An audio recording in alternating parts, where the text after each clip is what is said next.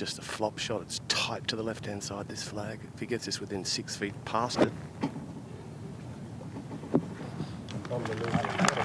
Okay, okay, Phil, you have shot of the year. Fine, that's it. End of story, end of awards. You have shot of the year. I can't believe how good a golf shot that was, folks. That was basically impossible.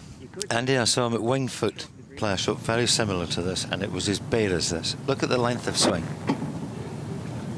Hits the ground before the ball. He has no bounce on that wedge. He has four wedges in his bag this week. He doesn't have the five that he's been talking about.